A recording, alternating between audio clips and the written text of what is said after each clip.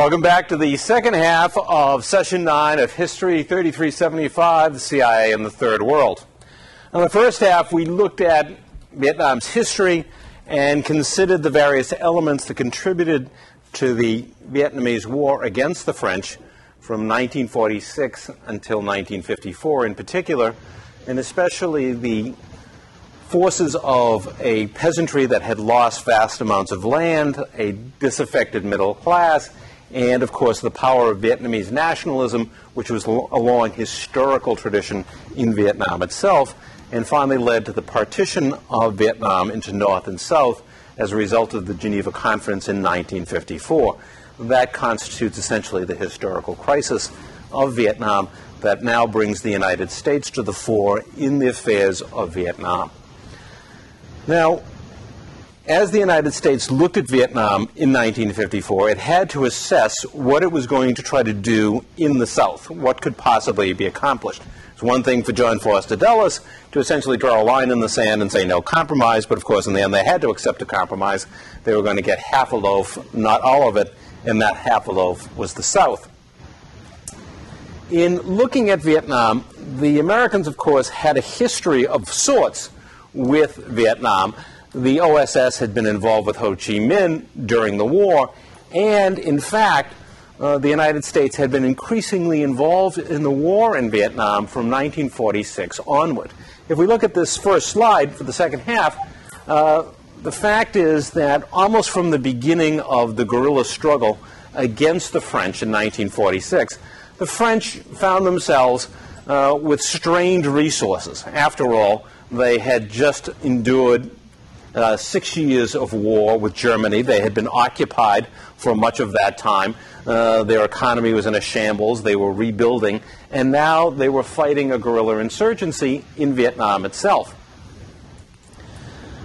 Not surprisingly, they would turn to the United States as the one major power which had not suffered significant physical damage as a result of the war for assistance in Vietnam. Now, of course, the Americans had a long history of being anti colonial. Uh, they had supported the French return or refused to oppose the French return to Vietnam, largely out of expediency, not wanting to damage prospects for French stability after the war, uh, but to ask them for aid, uh, to be called upon to actually supply assistance to the French to fight this war to maintain their colonial possession, uh, seemed to be stretching things just a bit. But the French had a certain reasoning that they presented to the Americans. They said, look, we're determined to hold on to our colonies. We desperately need them to get our economy going again. So we're going to have to devote considerable resources to doing this, and particularly in Vietnam. Now, if we don't get assistance from you, that means we simply have to send our own resources from Europe to Vietnam. That means we'll have to draw away those resources that you want us to use in the common defense of Europe, NATO, and expend those resources in Vietnam, unless you can help us. So you see, if you give us military assistance, that means we won't have to abandon our commitment to help protect Europe from the Soviet Union. So the Americans essentially faced a form of blackmail. Either they helped or the French would reduce their commitments in Europe. And so the Americans began sending steady streams of military assistance to the French to help fight the war in Vietnam. And indeed, during the 1950s, those streams of assistance were mounting into the hundreds of millions of dollars.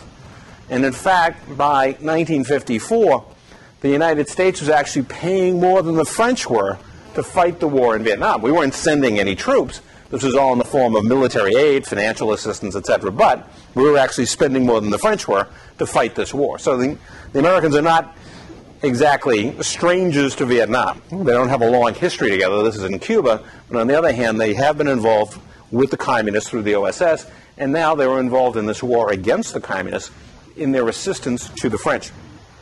Indeed, during the Battle of Dien Bien Phu, the French had consulted with the Americans about what to do uh, what could help turn the tide of battle in Dien Bien Phu. And somewhere in those discussions, the suggestion was made that maybe dropping a couple of nuclear devices would help. Now, later, when these discussions were revealed, uh, each side blamed the other for even bringing the subject up. Uh, the French said, well, the Americans wanted to drop nuclear weapons. They thought that would be a good way of solving the problem. And the Americans said, no, you're crazy. We didn't say that. The French asked us to do it, but of course we weren't crazy. We weren't going to drop nuclear weapons. But it's clear that the French and the Americans uh, were desperate to win at Dien Bien Phu and had considered at least the possibility of using nuclear devices as a way of defeating the communists in 1954.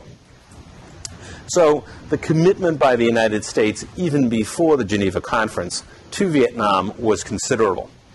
Going back to the slide again, uh, other factors will influence U.S. attitudes towards Vietnam uh, in the 1950s. One factor is the question of the Chinese Revolution. In the United States, in the early 50s, indeed throughout the 1950s, there was a foreign policy dispute, if you will, a political dispute within uh, the United States over the question of who lost China. In other words, China was our ally during World War II. We had a long association with China, uh, and yet we failed in the end to defeat the communists. Uh, the nationalists are driven out, and the communists take power in 1950. And of course, the Democrats blame the Republicans, the Republicans blame the Democrats. Um, this became part of the entire McCarthy era debate in the United States about looking for communists in the uh, State Department and elsewhere in the government. Were they somehow responsible for undermining our efforts in China?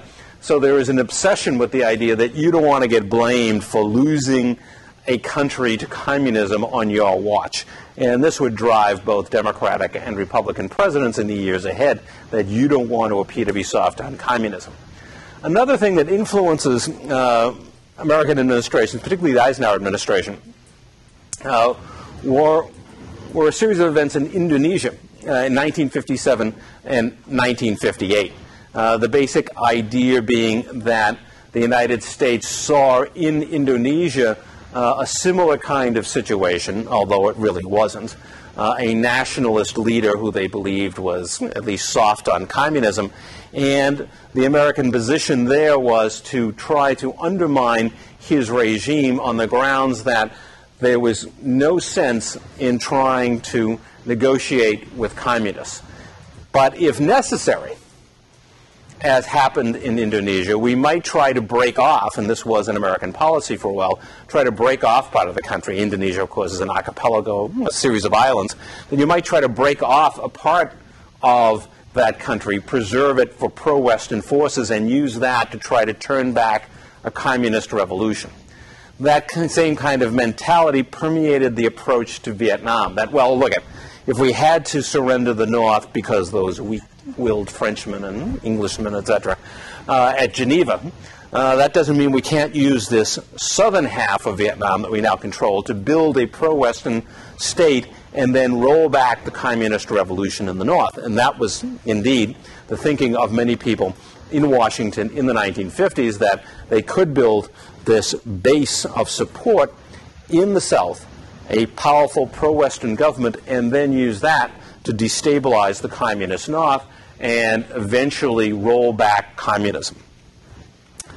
Part of this thinking also revolves around the idea of nation building that prominent in the thinking of American policymakers, as we talked about earlier in the course when we talked about American foreign policy, was the idea that Americans now had at their command through the social sciences, through sociology, political science, economics, the mechanisms and the analysis to build modern societies, to take traditional underdeveloped societies, as they were called, and convert them into modern developed societies, and in that way make them an important part of the Western global society that the United States was trying to create. And Vietnam would play an important part in that thinking. Vietnam would be seen as a laboratory to experiment. Can we build democratic institutions, Western style political institutions, Western style bureaucracy and economy in Vietnam, and therefore demonstrate that we are offering a valid, viable alternative to communism? So Vietnam would also take on that significance for Americans, that, that we were going to prove that we can reshape societies, make them into modern societies, make them less susceptible to communist influence, and indeed make them a part of the global system that we are trying to create. This thinking was in part emerging as early as 1954, and if we go to the next slide here, you'll see in a memo the National Security Council uh, authored in August uh, 20th of 1954. Uh, the United States began considering its options in Vietnam. And the essential question that the memo was raising was what can we do in Vietnam? Can we succeed where the French failed? In part, the answer was well, yes, we can succeed because, unlike the French, we're not war weary. Know, the French fought the Second World War, and you know, then they had to go through this guerrilla struggle in Vietnam. So the French people were worn out. You they didn't have the guts to go on. Huh? On the other hand, the American people aren't war weary. So we can carry on and succeed in Vietnam where they failed. Of course, what the memo didn't consider was, well, will the American people perhaps be a bit war weary if we spend the next 10 years fighting a guerrilla war somewhere? uh, wouldn't we be in the same situation as the French were in 1954? Won't our leaders wind up talking about a light at the end of the tunnel if we indeed wind up fighting this counterinsurgency battle for a number of years? But beyond that, the memo also said, well, look, the problem for the French was that they were colonialists. You know, they were there to exploit Vietnam. But we're not. We're there for nation building. We're there to help Vietnam develop economically, to give it modern political institutions. So we will be welcomed by the Vietnamese, unlike the French. So our experience will be different because we are there for the purpose of nation building, not for the purpose of colonial empire. The Vietnamese wouldn't necessarily see it quite the same way. But in any case, with that memo, the United States clearly has set itself on the path of commitment to the South and sees itself carrying out this mission of nation building in the South. Now, to help carry out that mission, one of the things that the United States immediately does is set up what was called the CIA's Saigon Military Mission.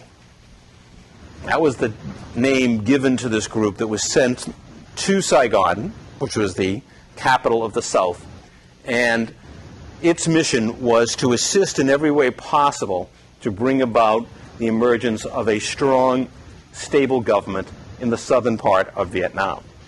Heading that mission was an American, Colonel Edward Lansdale. Edward Lansdale had actually been an advertising executive before World War II, uh, then joined the OSS, and was known particularly for his skills in psychological warfare, which would you expect from an advertising man and he is going to play a central role in trying to build a government in the South. Now, part of that strategy is not just focused on the South, but on events in the North as well. The CIA has a role to play in the North. Specifically, it sends another former OSS officer, now CIA officer, named Lucien Conein, to the North. Lucien Conein uh, was a Frenchman had been living in the United States at the beginning of World War II and had joined the OSS and become part of the groups that were uh, providing support to resistance movements in Europe. And of course, he was selected because he was fluent in French, and most educated Vietnamese spoke French at least as a second language. So he would have some facility in operating in Vietnam. But he was to go to the north, not the south in the north, Lucien Conein and those other CIA officers assisting him are working to develop groups that they call stay behinds. These are people who are to be trained to form resistance groups in the north who, to fight against the communists once they take full control. So these would be northern Vietnamese who were anti communist who would get training and assistance from the CIA. If we go back to the slide again, uh, among the things that they would do uh, is go around burying weapons in graveyards so that when the stay behinds needed weapons, they'd be able to go get those caches of weapons and use them to fight off the communists. Another effort was economic sabotage, uh, putting acid in oil tanks. Uh, storage tanks so that it would destroy the quality of the acid, uh, the oil when the oil was used, it would damage engines and whatever else it was used in. Uh, also putting sticks of dynamite in uh, piles of coal so that when the coal was used on the railroads and thrown into the uh, locomotive's furnace, it would explode and destroy the locomotive. Uh, various forms of economic sabotage, blowing up bridges, etc., doing everything they could to make it as difficult as possible for the communists to gain firm control in the North. So it isn't just a matter of what they're going to do in the South to try to create a stable government. In the North, they're also trying to destabilize the communist government as it tries to take power. the mission in the North also had a focus which was dualistic, both in terms of damaging the communists in the North, but also trying to assist the new political forces that they were attempting to create in the South. And that effort took the name of Operation Exodus. That's what the CIA called it. Uh, publicly, it was known as Passage to Freedom. The idea was this that there were large numbers of Catholics living in the North. And the CIA felt that they, of course, would be a likely group to appeal to, that they would logically be anti communist, because, of course, the communists are atheists. And they don't have any God. So Catholics would, of course, find that offensive. They would be opposed to communism, and this was a group that they could appeal to. The idea here was to encourage Catholics in the North to flee to the South. Now, this was legal. Um, people were being allowed in the months after the Geneva Conference uh, to move north to south or south to north, depending upon you know whatever their political affiliation or their preferences were. Uh, but that was simply the fact that they were allowed to. The CIA wanted to specifically encourage this, you know, not just to say, well, you can move if you want to.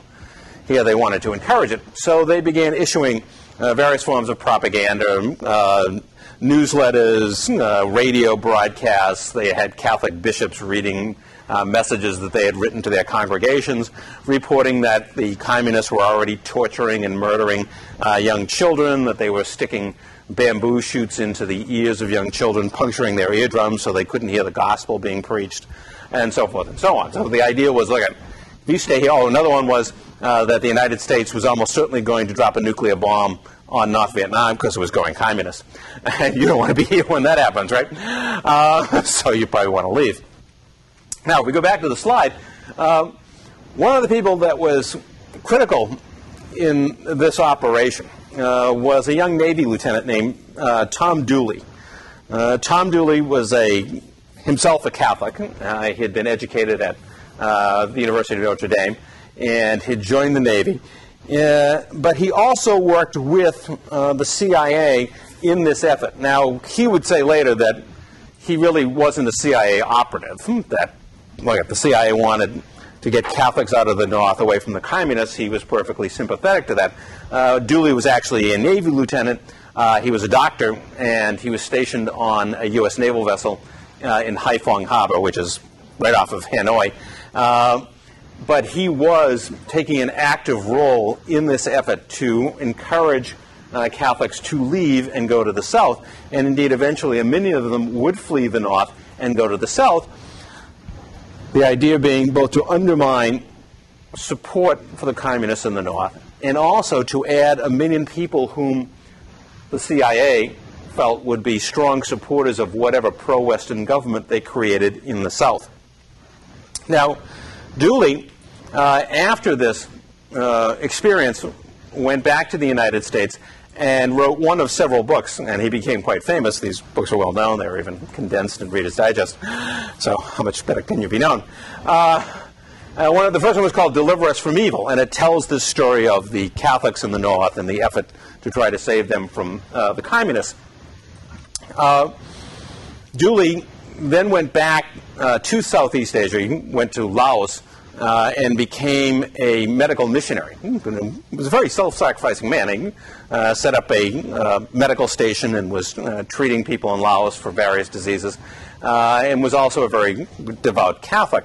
Uh, he died at a fairly early age in the 1960s as a result of skin cancer, and after that, his name was widely circulated and heralded in the Catholic Church as essentially a secular saint. I mean, here's a man who wasn't a priest, but he seemed to have lived a very holy life and have very strong positive influences on people. And as a result, uh, the Catholic Church began uh, a process uh, to make him an official saint of the church.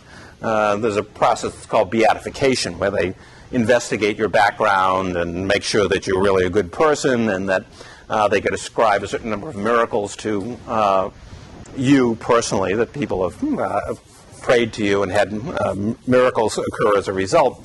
Uh, so they began this process of uh, investigation. However, in the end, the beatification process was halted for two reasons. one, they found out that Tom Dooley had worked with the CIA. There was at least some evidence of him having worked directly with the CIA. Uh, but then the other thing they found out that really killed him is they found out he was gay. So that was it. Uh, so to be a saint, it might be okay to be a spy, but it definitely wasn't okay to be a gay. Uh, and it was also very upsetting to the people at Notre Dame because uh, they had put up a statue to him. Um, but in any case, you'll be happy to know that one of the interesting things that, came out of all of this is that there is now a uh, Tom Dooley uh, Alumni Association at Notre Dame, and it consists of gay alumni. And they award a scholarship every year, and they name you know a person, a special person each year who's assisted uh, gays in their life uh, in the United States. So Tom Dooley didn't make a beatification, but uh, he lives on despite that. But Dooley was. I tell this story mostly to tell you about the CIA at this point and its views, uh, people that were working with the CIA, people like Dooley and its own offices, really felt that they were on a crusade, that communism was this enormous threat. And here in Vietnam, they felt they could draw a line, literally, in the sand between the North and the South, and that they could create something better, an alternative for the Vietnamese, uh, a non communist alternative uh, to where Vietnam was going. Uh, so people like Dooley really had a, you know, a truly religious-like belief in the crusade that they felt that they were fighting uh, in Vietnam in the 1950s. If we go back to the slides, we'll see what, uh, that at the same time in the South, well, this campaign is going on in the North to disrupt uh, communist uh, takeovers and to bring Catholics to the South, Colonel Edward Lansdale was busy building a government in the South. And the person around whom that government is going to be built was Ngo Dinh Diem. Diem, you remember, was the nationalist leader who captured by the communists, been interviewed by Ho Chi Minh, had refused to join the communists, and then had gone into exile, and in fact lived in the United States. Uh, Diem had many supporters in the United States, including the Catholic Church, because he was a Catholic, uh, the Kennedy family, and many others uh, saw him as the ideal choice to go back and lead uh, a non communist South Vietnam.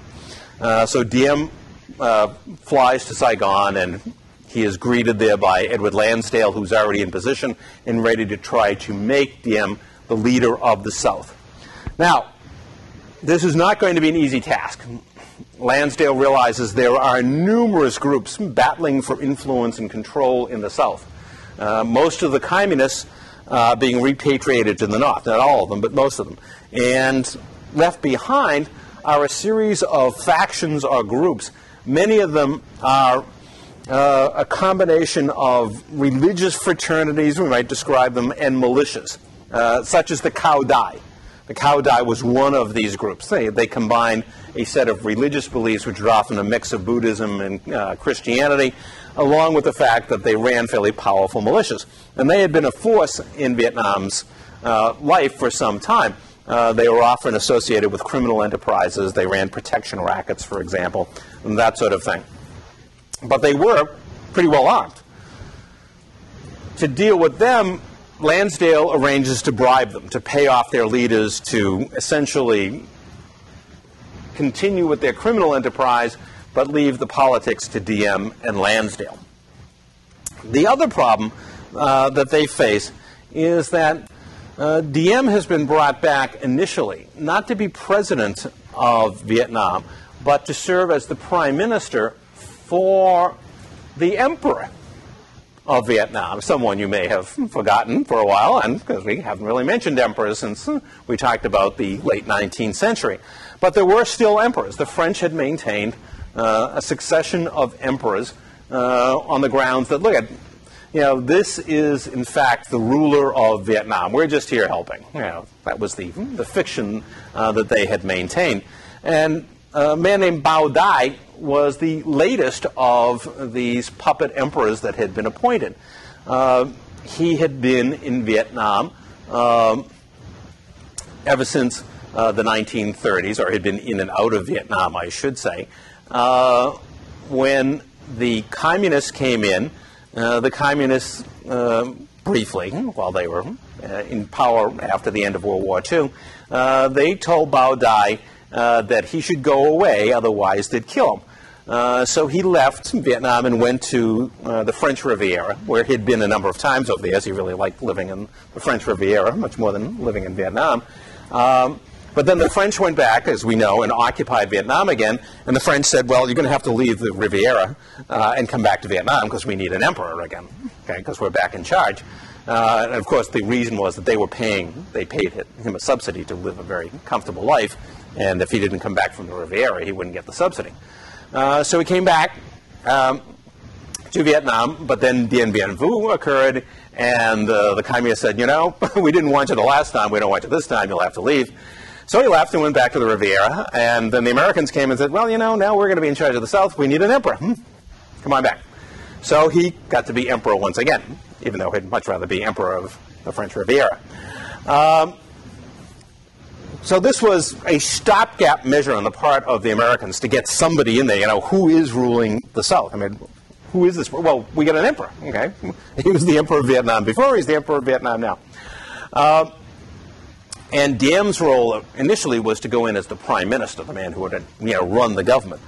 But very quickly, it became apparent that if they were going to have firm control over the situation, they really wanted Diem to have full control. And so they want to set up a presidential system. And to do that, they need an election. So they're going to run a national election, and the candidates to rule Vietnam are going to be either you know, the Emperor Bao Dai or the Prime Minister Diem, who they've just brought back from the U.S. And Lansdale is in charge of the national election. He's going to be running Diem's campaign, in essence. And if we go back to the slide again, uh, Lansdale will pull out all the stops. He will use all the advertising uh, tricks that he has learned over the years.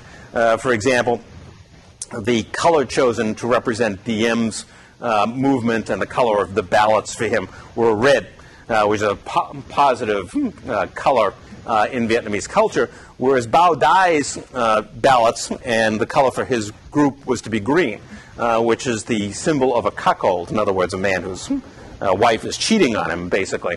Uh, so everything possible was done to sort of tilt the uh, outcome in favor of Diem. However, uh, Lansdale urged Diem not to directly manipulate the vote. Uh, his point to Diem was, look, with everything I know and with all the money we're spending on your campaign, you're certain to win. But we don't want it to be overdone, if you know what I mean. We don't want you going in there and stuffing the ballot boxes because we're confident you'll win uh, by a comfortable majority. But Diem was inclined otherwise. And in fact, he did stuff the ballot boxes so that 98% of the vote went to Diem. You know, that just doesn't happen unless, you know, you're Saddam Hussein or someone like that. Uh, you don't get 98% of the vote uh, in any real democratic election. But here uh, begins a long story of conflict between Diem and the CIA and each side tells a different story about what happened. Diem would say over the years that the problem for him and his administration was that the CIA was only concerned about security. They didn't really care about representative government. And that most of the things that they did were to establish security rather than win popular support.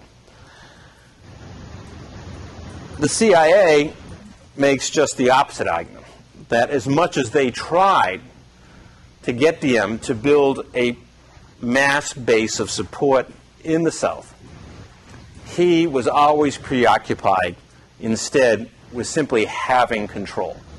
They argue that he was, in essence, and he had been, he had been a bureaucrat in the old French colonial administration, uh, even before he became a nationalist and that that was his mentality was that he'd be fine you know as a bureaucrat simply telling people what to do but he really didn't have the makings of a popular democratic leader and therefore their efforts always fell short you can believe what you want the truth is in the end that most of what the CIA does with Diem in the years between 1954 and 1963 is inclined towards building a security apparatus rather than building popular support.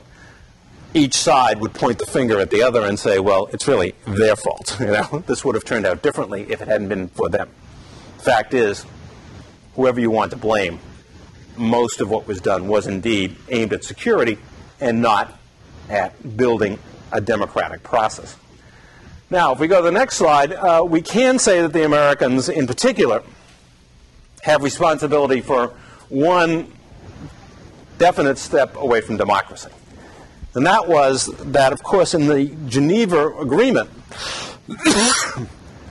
the understanding was clearly established that national elections, meaning North and South combined, were to be held within two years. In other words, no later than 1956. And those elections would select a leader for a reunited Vietnam. Those elections would never be held. And the Americans specifically rejected the idea of national election. President Eisenhower later explained in his memoirs that everyone that he talked to that knew anything about Southeast Asia assured him that if that national election was held, uh, the communist Ho Chi Minh would win. And so they didn't hold the election. And that was the simple fact. And it was an accurate fact. Ho Chi Minh had won this reputation as the national leader of Vietnam. Communist or not, the fact is people saw him as the person, you know, he was here fighting the French, and then he was there fighting, you know, and now he's been resisting the Americans. He is the one figure that emerges as the national leader. Diem, yeah, he fought the Japanese and he fought the French to a degree, but you know he's been gone for years. He's been in exile. He wasn't here during the tough slog in the early 1950s. Once you know he headed into exile, he wasn't around anymore. So Ho Chi Minh is the one that established this reputation as the national liberator of Vietnam, and therefore the Americans were at a distinct disadvantage in that regard. Now, despite the refusal of the Americans to hold the election, Ho Chi Minh did not want to take up arms against the South. His point of view was that Diem does not have a strong political base in the South. He can't survive. And sooner or later, the Americans are going to be forced by instability in the South to hold that national election. I know they don't want to, I know they said no now, but we'll wait a couple of years, and in time, they'll be forced to do this, not because they want to, but because there really is no other solution for them to get out of Vietnam by allowing that national election to take place. So initially, Ho Chi Minh, even after the non occurrence of elections in 1956, was unwilling to take a highly aggressive stance against Diem. That doesn't mean that he wasn't going to have political operatives working against Diem in the South, uh, but he was opposed to taking up arms. Now, if we go back to the slide, we'll see that in the South, Diem is making some efforts to build a base of support. One of the things that he will do is launch a land reform program. Clearly, anyone that knew Vietnam knew that one of the major problems for Vietnam was the loss of land among peasants that had been going on ever since the 19th century under the French. So Diem proposes turning over land to peasants. Unfortunately, there are several problems here. One is that during the struggle against the French, the communists had already done this with many people, including people in the South, uh, had handed land back to them.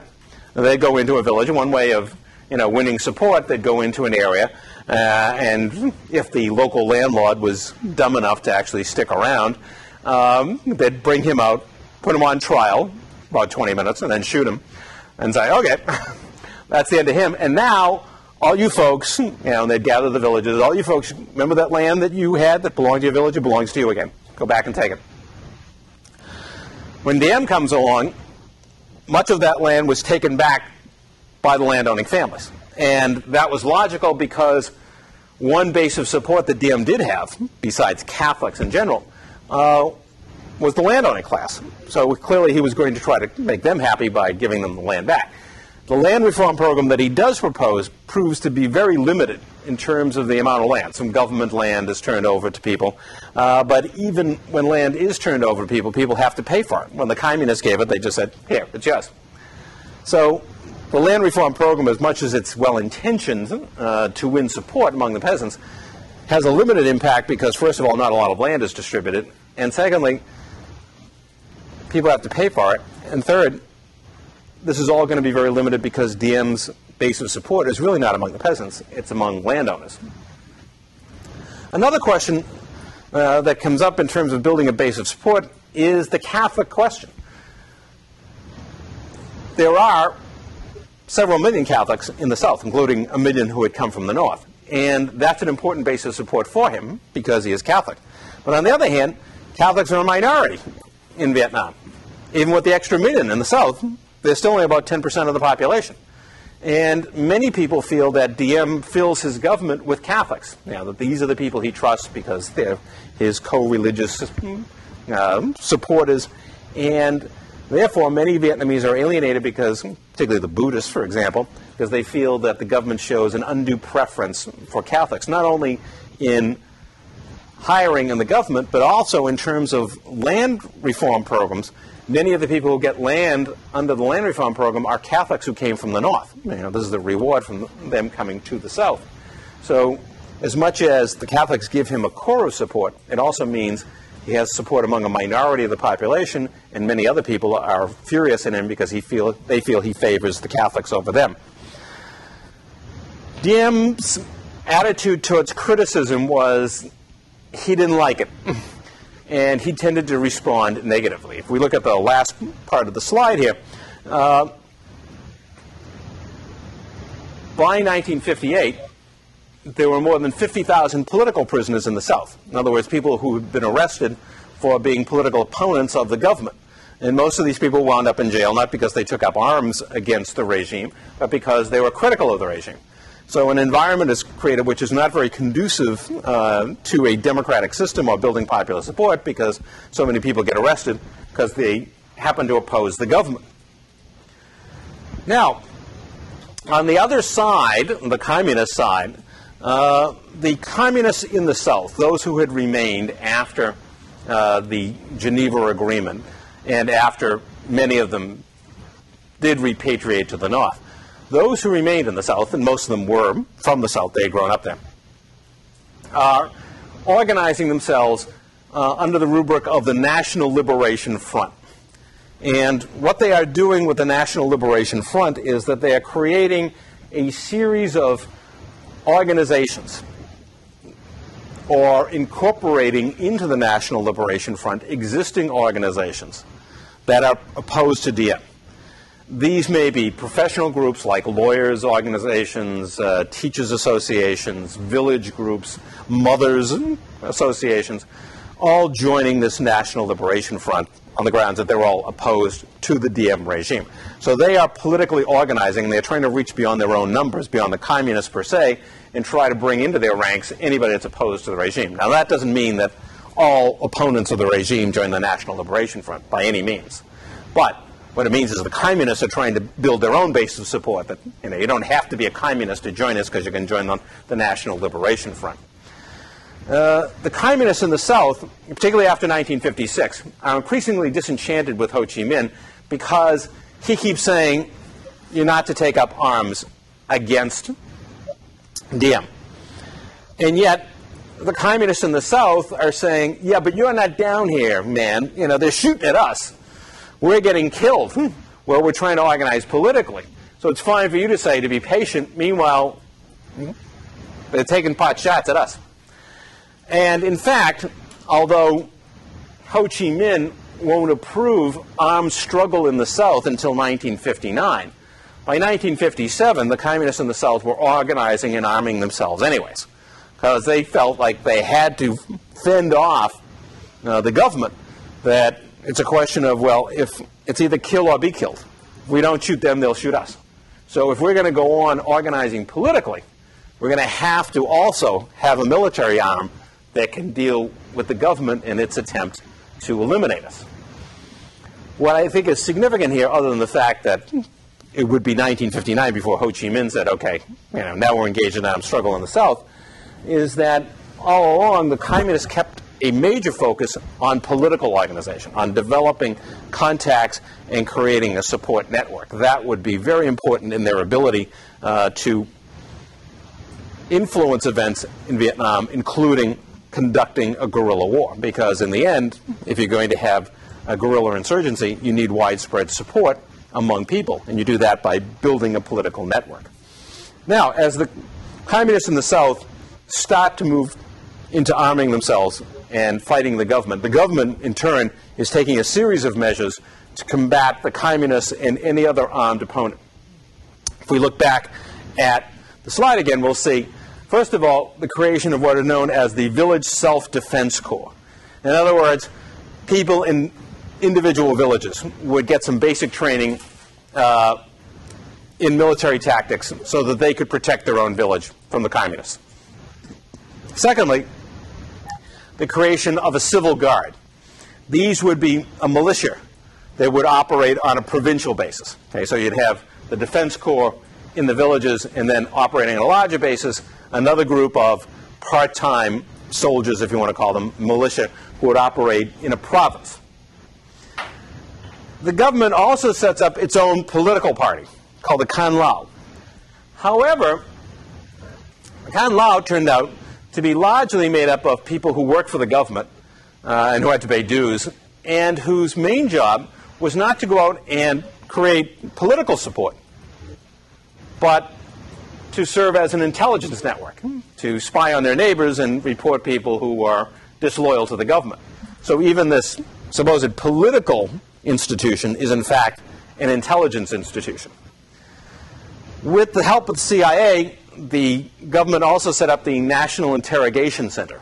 This is a place where people were to be brought to be interrogated uh, who were suspected, particularly of communist affiliation, but generally of political disloyalty who might be subversives of one kind or another.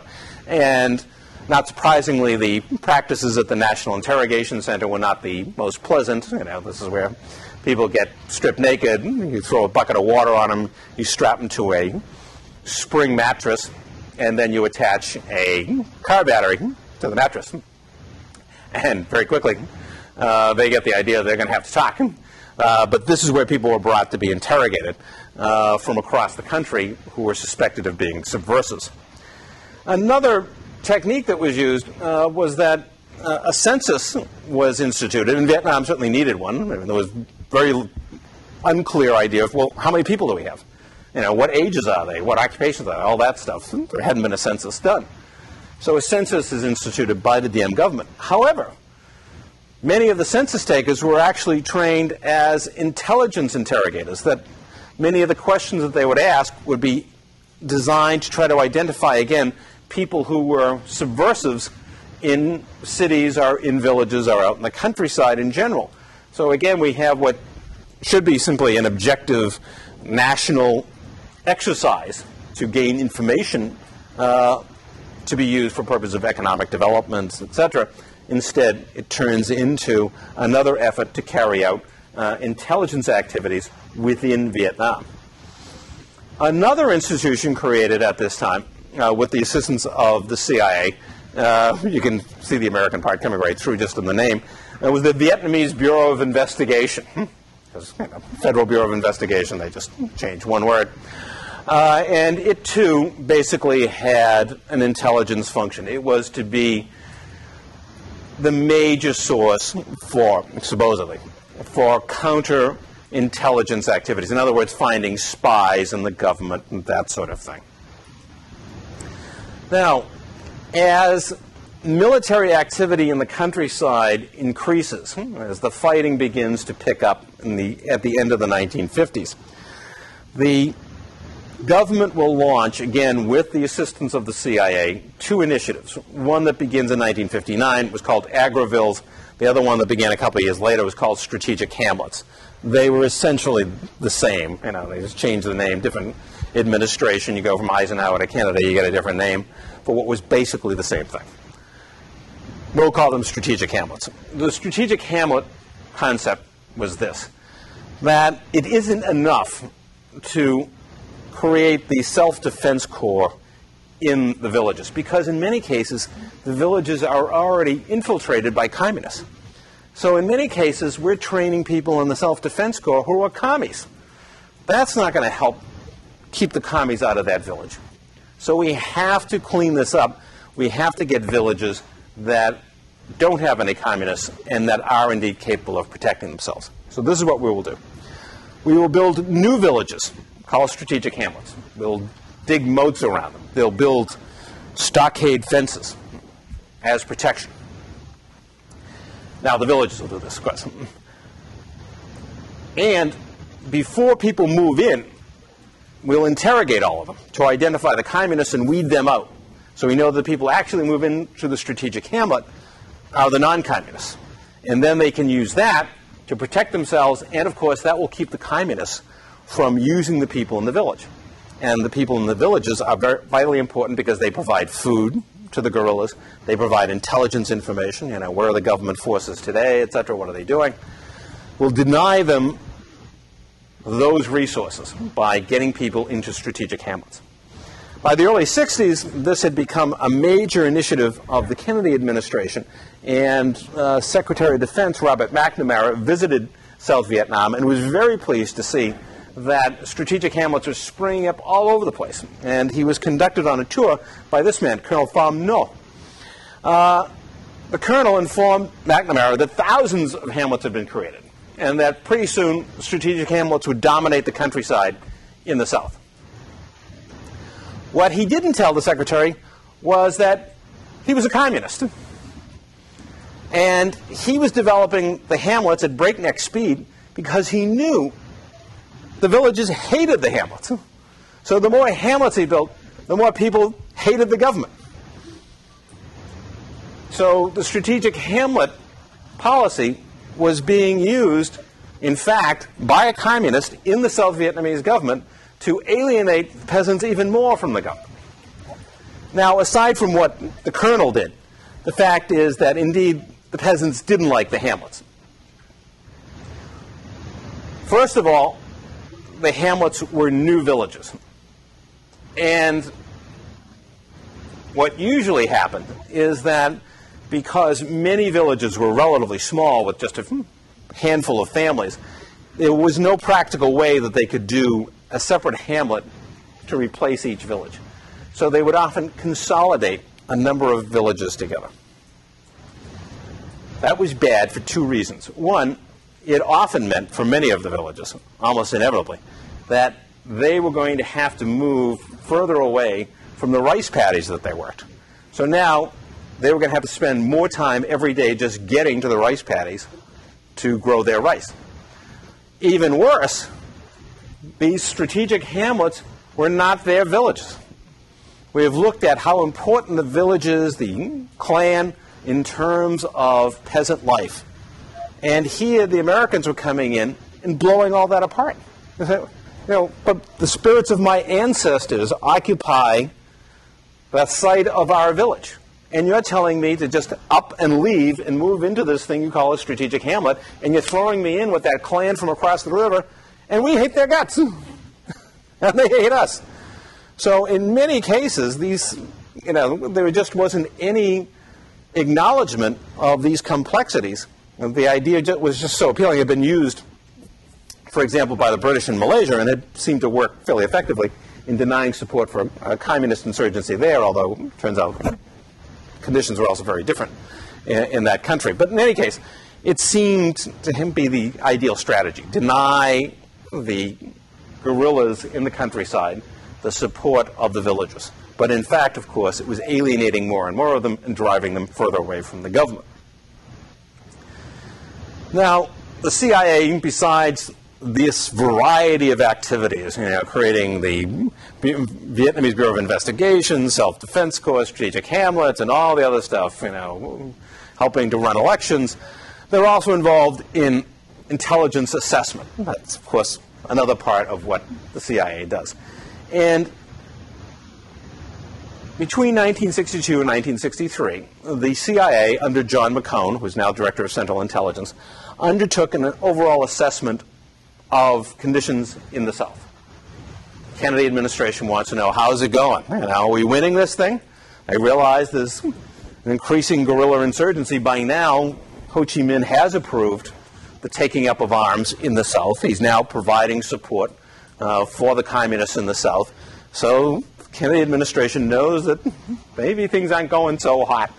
Uh, but the CIA assessment is very positive. It's very taken up with these ideas about strategic hamlets and nation building and all the work that's being done there. The U.S. Agency for International Development is pouring aid in, uh, land reform programs, uh, the building up of military capacity, all of these security measures that the CIA has helped take. And so the outlook from the CIA's point of view at this point in time, their assessment is a positive one, that things are working out. We need to do more of the same, more of it, more intensively.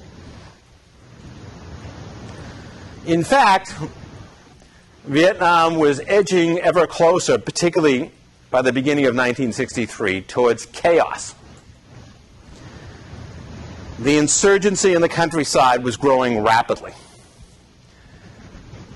The Diem regime proved increasingly incapable of countering that insurgency. Diem's concerns were to preserve his regime. And his greatest concerns had to do with preserving his regime against his own military. There were numerous conspiracies against the Diem government from its own military. In fact, one of the things inhibiting the fight against the communists in the countryside was Diem's policy in terms of appointing military leaders to the counterinsurgency campaign. The basic rule of thumb was this if you're a loyal member of the military. In other words, you support the regime, and you know we know you. You're connected. You're a Catholic. Or you're connected to our family. You know you haven't been involved in any plotting. Then we give you an appointment in one of the major urban areas. Because of course, if somebody's going to stage a coup, what they're going to try to do is seize, you know, a large military base in an urban area. They're going to try to take the capital. So we want those military leaders to be the most loyal ones that we can find. As far as who gets sent out to the countryside to fight the guerrillas, all this scum that we think might try to stage a coup against us, we'll throw all those people out there. The main issue wasn't is this guy good at military tactics? Is he good at counterinsurgency? Is he a courageous leader that will lead his troops and inspire them? No, we don't care. Yeah, what we care about is um, are his political leanings, or his suspected political leanings. Not that he's a communist necessarily, but if he's got political ambitions and might try to overthrow Diem, we'll throw him out in the countryside, even if he's an idiot when it comes to running combat operations. And people knew, soldiers knew. The reason we have Commander X is because he, he's suspected of the government of conspiring against it. Furthermore, Diem had alienated much of the population. Buddhist monks, for example, uh, were leading a campaign against the regime. They felt that Catholics were being treated with inordinate uh, favoritism by the regime and that there was a bias against Buddhists. Uh, Buddhist monks had literally uh, burned themselves to death in the streets of Saigon and other cities as a demonstration of their absolute opposition to the regime. So there is mounting political opposition publicly in the urban centers, and there are these ongoing conspiracies within the military. The one thing that's really keeping a lid on the military is the insistence from Washington, from the Kennedy administration, that if the military overthrows Diem, that's the end of U.S. aid. You know, you can go out and fight the commies on your own, but we won't be there. Whether they'd follow through on that is another matter. But that was the threat, and that's what helped keep most of the conspirators in line. That, well, you know, fine, you may seize the government, but then if the U.S. pulls out all its aid, what'll happen to you? So that's one of the few things that's keeping things intact or holding things together. But by the late summer of 1963, the Kennedy administration became convinced that Diem just wasn't going to cut it. Now, it had nine years back in Vietnam now, and the insurgency was growing. He had very little popular support other than Catholics and family members. Uh, there was this constant instability in the military, so he was going to have to go. And they decided that the easiest way to do it was well, all these guys are conspiring in the military. All we have to do is let a few of them know it's okay now. We won't object to seeing this guy disappear. Uh, and that'll be it. Uh, the emissary for this, if we go back to the slide, was Lucien Conein, the same CIA officer who had been sent to the north you know, to assist the stay-behinds and help destabilize uh, the communist regime back in 1954. Because, of course, Conein had been in Vietnam. He knew many of these military officers from years before. He's fluent in French again, so he can uh, speak to them directly. And his message to the senior office in the military was that, look, if there's a coup and Diem is replaced, the United States is not going to cut off assistance. You know, they didn't. You know, Kennedy would say, "Well, we didn't encourage the coup. You know, we didn't, you know, direct this coup," and that's true. They didn't. But they knew all they had to tell these guys. They knew these guys were conspiring. They knew the names of the leading conspirators. All they had to do was go over and say, "Look, don't worry about it. We're not going to shut off the aid pipe if you overthrow the Diem." Now, In the fall of 1963, the plan is underway.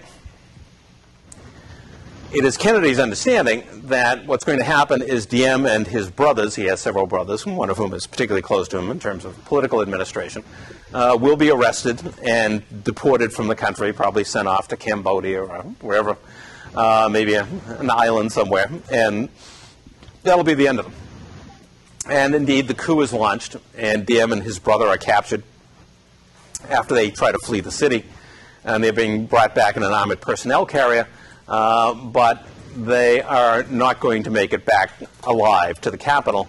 Uh, their convoy stops and uh, they open up the personnel carrier and they open fire on the two men and kill both of them. Uh, the idea was among the conspirators, Diem was just too dangerous. You know, if they let him go and sent him into exile, he'd still conspire against them and might be able to pull something off and overthrow them and what would happen to them.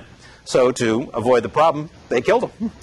So Kennedy could well argue that he didn't, you know, ever intend the assassination. That's true, but they certainly, uh, he and his advisors and the U.S. ambassador um, to Vietnam at this time, they knew what was going on. They, they had set this process in motion by telling the conspirators not to worry about U.S. support, and Diem was in fact removed from the scene. However, it hardly improves things because, as I, you can see on the slide, over the next 18 months, there are six different governments in South Vietnam. Usually various combinations of civilian and military leaders, one group replacing another in a series of largely nonviolent military coups. But the chaos, if anything, gets worse with this revolving door government uh, that comes into existence after Diem's assassination. So, in fact, instead of stabilizing the situation, the intervention that leads to his overthrow and his assassination ultimately only makes things worse. Again, the CIA is called upon, as the situation does get worse, to reevaluate. In 1965, the CIA provides another overall assessment of the situation in Vietnam. And its assessment is things are getting worse by the moment. Uh, they're not getting better, but it would be a mistake to commit large numbers of U.S. troops to the battle. Now, at this point, there are thousands, over 6,000 U.S. advisors in South Vietnam, U.S. military personnel who have been sent there over the years to serve as advisors. So technically, they're not combat troops. They're there to train and to assist, but they actually do go on patrols with the South Vietnamese army. They provide assistance, and of course, if they get caught in a firefight, they don't just sit there. They engage in combat, and a number of them have been killed already in that capacity. But that has been the limit. There has been no commitment of U.S. combat troops up to 1965. And the CIA's assessment is that, look, with this insurgency, our military would not work very well at subduing an insurgency. The CIA felt that it had a certain expertise. It had certainly been involved in a number of counterinsurgency efforts, including the one in Vietnam, uh, through the 1950s and into the 1960s. And from their point of view, conventional military tactics and conventional military forces aren't going to be very good at solving the problem. So they recommend against that. So much for their recommendation. So this time they got it right. Mm-hmm. Uh, this time, indeed, the prospects for success by injecting U.S. military forces are not good, but nobody's listening to them this time.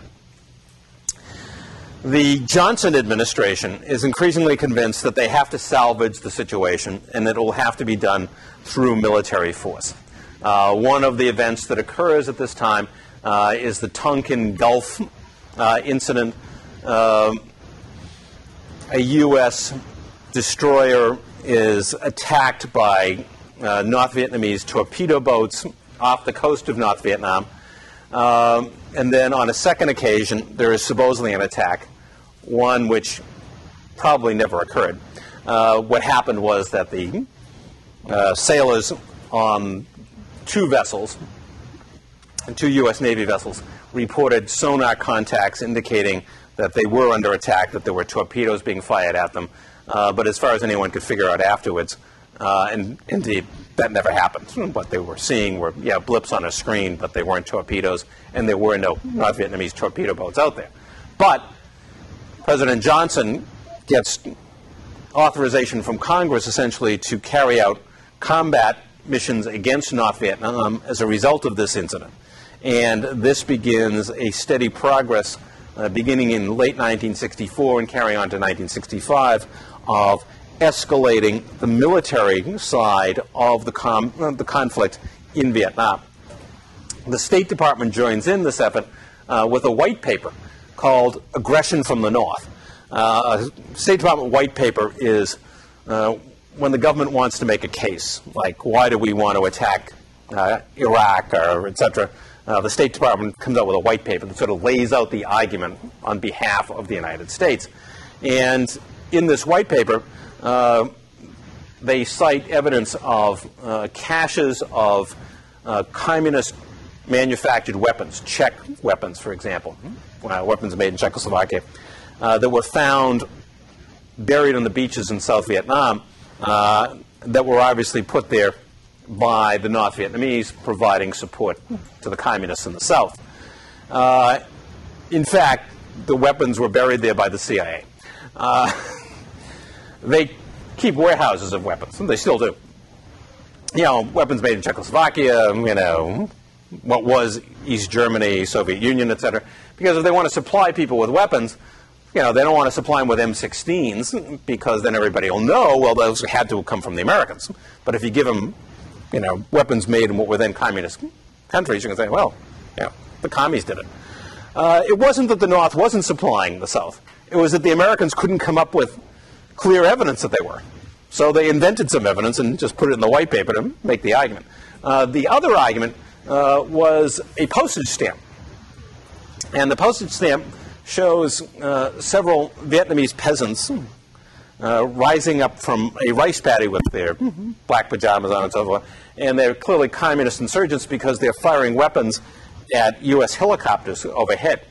Uh, the stamp was allegedly produced by the National Liberation Front in the South, and of course, the State Department argument is that this couldn't have been manufactured by people in the South. This is a highly sophisticated stamp. It had to be done in the North. And in fact, Life magazine on March 6, 1965, if you want to look it up, uh, its front cover was this stamp. You know, that's how important it was considered. That this was, you know, clear evidence of what was going on.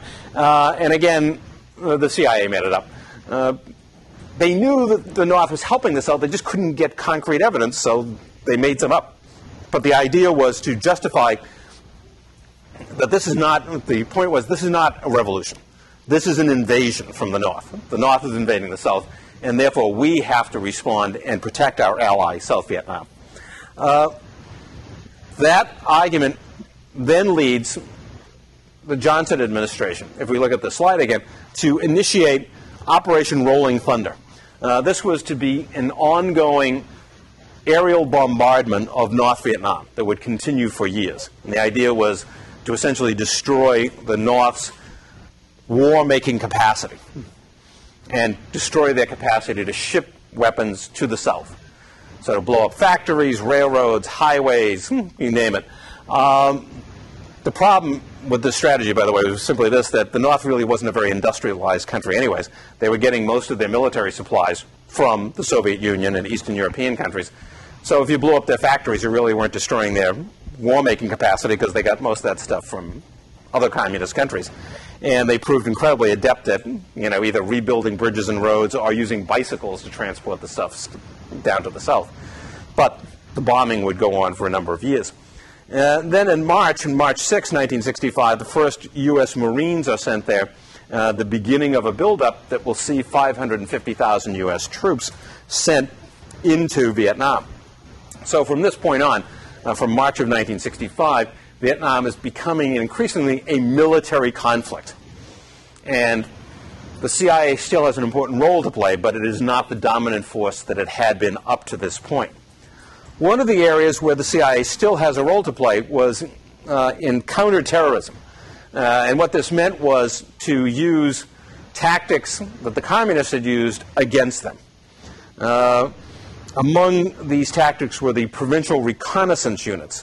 Provincial reconnaissance units uh, were to be sent out. They would include people from Army Special Forces, CIA people, uh, and they were to go out and essentially fight in the countryside as small guerrilla units themselves to attack the communists. Now, the communist idea was uh, they would lay in wait for a large you know, South Vietnamese or U.S. military unit and ambush it. Uh, well, the provincial reconnaissance units would act as small units themselves and ambush the communists. So that was a tactic particularly promoted uh, by the CIA and assisted by them. The CIA has another vitally important role to play, and that is the overall assessment of enemy strength. This became a major debate within the decision making groups of the United States involved in Vietnam. And the bottom line was simply this the military said that the number of communists in the South was perhaps a few hundred thousand, three, four, five hundred thousand maybe. The CIA said no, we're talking a million, two million. Now, three million? Somebody's got to be wrong, right? Part of this was a disagreement over, you know, who do you count? The military said, look, you count just the people that have a weapon in their hands. That's a communist insurgent. The CIA said, no. It isn't just the guy with a weapon in his hand. It's all those people that are carrying food for him, carrying weapons for him, medical personnel, uh, villagers that actively work on behalf of the communists, that spy for them, et cetera, et cetera. Then the numbers grow. The military didn't want to accept this because, of course, their strategy was called the meat grinder strategy. We just will kill so many communists that pretty soon there won't be enough of them to carry on an insurgency. And that would work if you were dealing with a few hundred thousand. But if you were dealing with several million, you could go on forever like that. In the end, the Johnson administration chose to believe the smaller number of the military. And we went on and on and on and kept fighting. And not that the North wasn't sending down reinforcements as well, but the fact is there were a huge number of people in the South that were supporting the regime. I mean, supporting the uh, insurgency. So the CIA has an important role there, but again, as with its 1965 assessment, it isn't believed. The administration has set itself on a course. We're following a meat grinder strategy. You're out of luck. Your intelligence disagrees with what we're already doing, tough luck. It's like Dulles and Cuba, you know. If you disagree with what we've decided on, tough. A turning point in the war comes with the Tet Offensive in 1968. It was a mass uprising by the communists where they attacked major urban areas, including Saigon, seized many cities in the south, and it led to months of bloody fighting uh, as the U.S. and the South Vietnamese fought to regain these cities. In the end, they succeeded in driving off the communists. The military, the U.S. military argued, we won. You know, they tried to seize control of the country, and we beat them. And indeed, the communists would later say, after the war was over, that this was a major setback for them, that they indeed hoped that there would be a mass uprising and they would topple the regime. But the real effect was at home. Because people became convinced that, look, we've been fighting here for how long? You know, it's 1968, we've had, you know, half a million troops there, and after three years, they still can launch this kind of offensive. We're not winning, we're losing. The CIA, meanwhile, was making its own effort to counter the continuing strength of the communists in Operation Phoenix, essentially an assassination operation which killed 22,000 communists uh, in the period from 1968 to 1971. Hit squads were sent out to assassinate known communist cadre, in other words, people that were participating in the insurgency, to go and find them in their villages at night and shoot them. Uh, this is later reported in Congress, as we talked about when we talked about the history of the CIA. Uh, originally, the argument was, well, they were actually shot trying to escape, but in fact, it was an assassination program. And probably one of the more effective programs that the CIA ran at this time, or that the U.S. ran. But the larger reality for most Americans is that the American death toll is rising. Tens of thousands of Americans have been killed, and there's no clear end in sight. Finally, the Nixon administration admits that they have no solution to this problem. They have found that in Vietnam, the regime is deeply penetrated by communist agents, thousands and thousands of them. The CIA has helped identify them. They don't even dare tell how many there are because it'll undermine belief that there's any hope of winning the war. The Nixon administration settles on a policy of Vietnamization. And as we see here, the U.S. steadily reduces the number of U.S. troops in Vietnam from 415,000 in 1970 down to 42,000 in 1972, churning more and more of the war over to the South because U.S. support was disintegrating. The great Cold War consensus was coming to an end as American casualties increased. An armistice is reached between the U.S. and the communists in 1973. The U.S. pulls out the last of its troops, and the communists roll to victory, capturing Saigon in the fall of 1975. The war had finally come to an end. The Americans had lost. Now, again, we have to qualify evaluating all this because the CIA is extremely important, but they're not the only factor. Obviously, more and more after 1965, the military played a major role. But if we look at this just from the CIA's perspective, or largely from that perspective, we see factors here coming into play that we've seen elsewhere, even though the role of the, CIA here is to preserve a regime, not to undermine it political participation. Political participation was high in Vietnam, but that also meant that a large number of people were supporting the communists, and that the government was, in fact, in terms of political support, a minority government. So we have high participation, but much of it is participation against the government. As far as coherence of the state, as we've seen, the military was constantly plotting against the Diem regime. And even when Diem is gone, there are constant turnovers in government. So here you're trying to fight a counterinsurgency over a number of years with a highly unstable government whose own constituent parts, particularly the military, are not terribly loyal to the state itself. And a state that is riven with communist agents. Economic conditions, you can say, are relatively positive because the U.S. poured in billions of dollars of economic aid to keep the South Vietnamese economy growing. But in terms of its own security apparatus, as I said, the communists couldn't even, I mean, the South Vietnamese government couldn't even keep thousands of communist agents out of its own ranks. So, with the exception of economic factors, everything else weighs against the success of the CIA.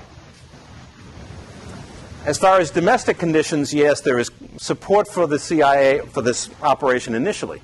But by the end of the 1960s, with U.S. casualties rising, the Cold War consensus has ended, and people want out of Vietnam. Things will never be the same. Presidents will never be able to run an unchallenged foreign policy. As for the CIA, its performance is mixed. Good counterinsurgency efforts at times, poor assessments at other times largely they had chosen a case that they couldn't win because of domestic factors, factors in Vietnam. We see the historical crisis of an unfinished revolution, disaffected peasants and middle class. The U.S. looking to build nationhood, to fight off communism and prove that it has a world vision to counter communism. It can build a democratic capitalist system in a third world country. Those are the combined motivations. Tactics are across the board, from psychological warfare to paramilitary efforts to assassination. You name it, we tried it. Economic aid, we tried it. In the end, the outcome is driven both by conditions in Vietnam, lack of coherence in the state, lack of security, and by a changing attitude in the U.S., the disintegration of the Cold War consensus that was destroyed permanently as a result of this war. Next time, we'll look at another case and see a post Vietnam world and how the U.S. deals with it.